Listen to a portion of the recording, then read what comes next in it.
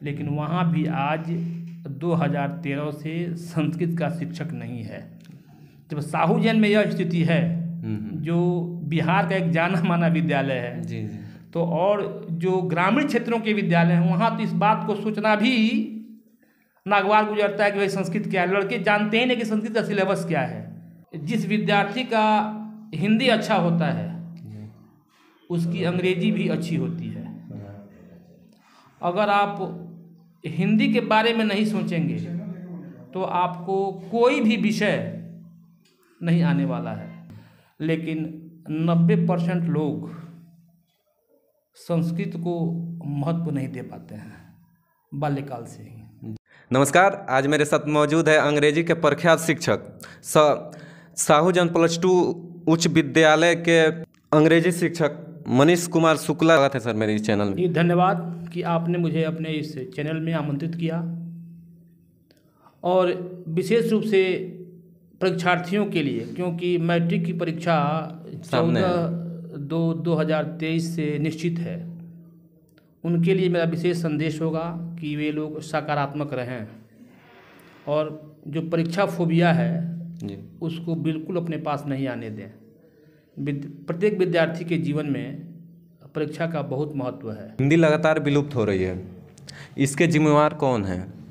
देखिए जहाँ तक हिंदी के क्षण का प्रश्न है वैसे तो मैं अंग्रेज़ी का शिक्षक हूँ लेकिन इस बिहार प्रदेश में जिस विद्यार्थी को हिंदी नहीं आएगी जी। मैं दावे के साथ कह रहा हूँ मेरा जो शैक्षणिक अनुभव है मैं तेरह पाँच दो हज़ार चार से लगातार साहू जैन उच्चतर माध्यमिक विद्यालय में अंग्रेज़ी विषय को पढ़ा रहा हूँ। जी। लेकिन मैंने फील किया है कि जिस विद्यार्थी का हिंदी अच्छा होता है उसकी अंग्रेज़ी भी अच्छी होती है। अगर आप हिंदी के बारे में नहीं सोचेंगे तो आपको कोई भी विषय नहीं आने वाला है। एक और सवाल है सर कि देवभाषा संस्कृत भी विलुप्त हो रही है। कहीं ना मैंने जहाँ देखिए विद्यालय में अब टीचर ही नहीं है संस्कृत के तो इसके इस पे आप क्या कहिएगा? जी देखिए मैं एक बात अगर सही ढंग से कह दूँ तो इसकी से बहुत लोगों को नाराज़गी भी हो जाएगी। जी। कि शिक्षक हो करके और सरकार के ऊपर दोषारोपण कर रहे हैं। हम्म, हम्म, मैं सरकार के ऊपर दोषारोपण नहीं कर रहा हूँ। मैं एक सत्य बात मैंने जो अनुभूति की है आज इसमें सरकार ही केवल दोषी नहीं है। सबसे बड़ा दोषी जो वर्ग है अभिभावक इसको अनथ्या न लेंगे कि मैं उनको दोषारोपण कर रहा हूँ। लेकिन नब्बे परसेंट लोग संस्कृत को महत्व नहीं दे पाते हैं बाल्यकाल से ही। जी जी। और जहाँ तक शिक्षक की बात है ना मेरा अपना विद्यालय जो कि मैं दावे से कह रहा हूँ कि बिहार में अगर सेकेंडरी लेवल की कोई बात हो तो साहू जैन उच्चतर माध्यमिक विद्यालय वन टू टेन में कहीं न कहीं है। लेकिन वहाँ भी आज 2013 से संस्कृत का शिक्षक नहीं है। जब साहू जैन में यह स्थिति है हम्म, जो बिहार का एक जाना माना विद्यालय है। जी जी। तो और जो ग्रामीण क्षेत्रों के विद्यालय हैं वहाँ तो इस बात को सोचना भी नागवार गुजरता है कि भाई संस्कृत क्या है? लड़के जानते ही नहीं कि संस्कृत का सिलेबस क्या है। देख रहे हैं सब जगह भी जो भी सरकारी टीचर हैं उनके बच्चे हैं जो प्राइवेट स्कूल में पढ़ रहे हैं। तो इस पे क्या आप लोग सोच रहे हैं? आप भी बताइए सर।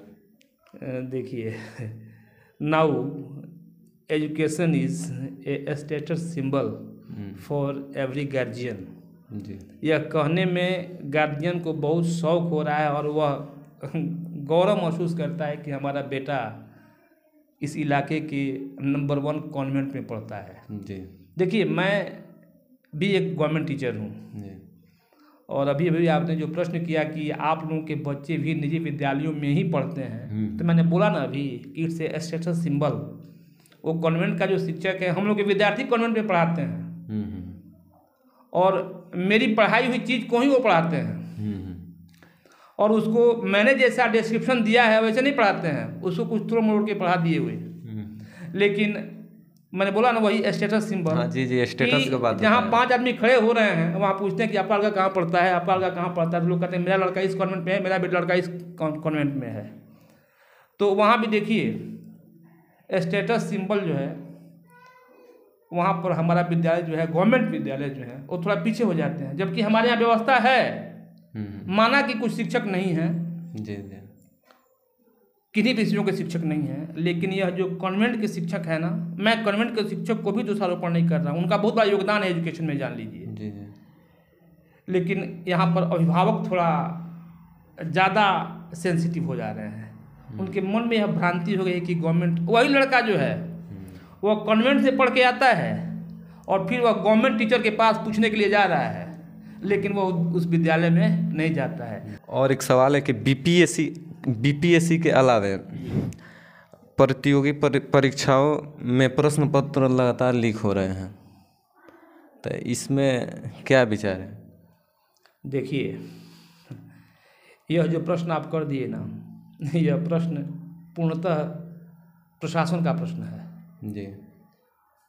दुनिया का कोई भी शिक्षक अगर वह सही में शिक्षक है तो वह इस तरह के क्वेश्चन आउट में उसकी सहभागिता उसका कॉन्सेस अलाउ नहीं करेगा। मैं हंड्रेड परसेंट तो नहीं कह रहा हूँ माना कि कि एक आध परसेंट लोग हो सकते हैं इन्वॉल्व हों। देखिए यह बहुत बड़ी बात है। ऊपर से ही मान लीजिए कि बीपीएससी पेपर तैयार कराता है और बिल्कुल एक सिस्टम है उसमें। कहीं ना कहीं सिस्टम में तो भाई कुछ है कि पेपर मैंने यहाँ परीक्षा हमारा स्कूल भी उसका सेंटर बनता है बीपीएससी का सेंटर हमारा विद्यालय भी बनता है। तो मेरे यहाँ इतनी चाक चौबंद व्यवस्था रहती है कि यहाँ से लीक का कोई सवाल ही नहीं पैदा होता है। लेकिन अभी दो घंटे की परीक्षा हुई नहीं कि हम लोग परीक्षा कंडक्ट करा के जमा कराते हैं पेपर तब तो तक बाहर लड़का निकलता है तो ह्यूमर आ जाता है कि पेपर आउट है। जी जी। तो इसमें हम अब किसको दोषी दें यह मैं समझ नहीं पा रहा हूँ। इस पर तो भाई गवर्नमेंट को थोड़ा अलर्ट रहना है कि पेपर आउट नहीं हो क्योंकि विद्यार्थी बहुत ही मनोवेग से इसकी तैयारी करता है। जी जी। और एक जगह के लीक के चलते बहुत परेशानी होती परेशानी नहीं होती है। एक बार जो विद्यार्थी उस परीक्षा को दे कर आता है और जब पेपर आउट होता है ना उसकी सारी तैयारी तो ध्वस्त हो ही जाती है। उसका मनोबल बहुत टूट जाता है।